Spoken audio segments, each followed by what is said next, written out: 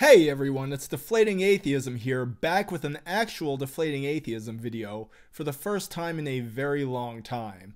Now obviously most of my recent YouTube videos and my appearances on other people's YouTube channels have centered around politics because politics has been what's been foremost on my mind, atheism not so much. But here I am dabbling my toes back in the water with sort of a lighter item and it's sort of old news but there's been a more recent update, so let's dive into it. It started when Neil deGrasse Tyson tweeted, The good thing about science is that it's true, whether or not you believe in it. In response, the social media account of Steak-umm, yes Steak-umm, the sliced beef product, tweeted, Log off, bro. Now, I don't do the whole Twitter thing, but by complete coincidence, I just so happened to see Tyson's tweet when I was browsing a website that aggregated the most popular tweets of the day. When I saw this tweet, I wasn't struck by how insipid it was, because I was struck by how insipid it was years and years and years prior, the first time I saw Tyson say the exact same thing. Instead, I was struck by how this hack hasn't updated his shtick in the last decade. He's still out there tossing red meat, or beef sheets if you will, to his army of Fedora loyalists, and I'm not sure that army of Fedora loyalists is what it used to be. Steak-umm followed up with this.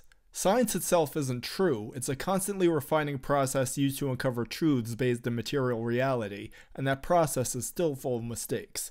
Neil just posts ridiculous sound bites like this for clout, and he has no respect for epistemology. In other words, science is a method of investigation, it's not a belief or a belief system to be evaluated as true or false. Now, this method of investigation produces claims about the natural world which may be true or may be false, but Neil doesn't even seem to admit the latter possibility.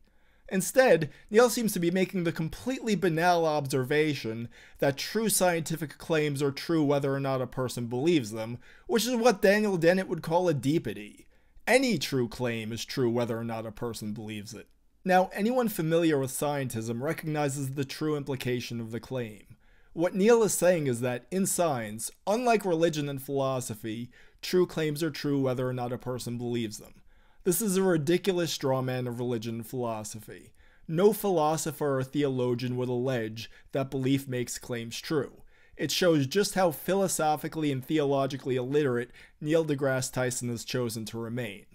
Now, the Steak-umm's interaction actually came up as a topic of discussion when he appeared in a recent episode of the Joe Rogan Experience, and you'll never guess who came off as the exemplar of nuanced understanding.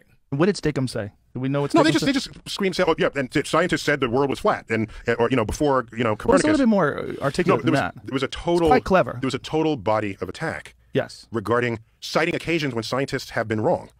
Okay. Well, he's also explaining, clarifying what the actual scientific method is versus just a, a, a, flat statement like science doesn't need you to believe it's true or however you phrased it. Well, I, am just saying that, yeah, so the Steak-umm one, there's some informed people there, I think. And they, and they so Neil deGrasse Tyson completely failed to understand what Steak-umm was saying and then went on to repeat the falsehood that people in the Middle Ages thought the earth was flat.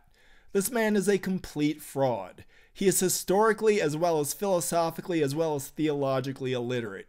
He has been intellectually bested by a beef product and is more incurious and less dynamic than Joe Rogan. The fact that this man is held up as a role model for young people is a complete disgrace. I hope you enjoyed this video. Please like, share, and subscribe. Thank you.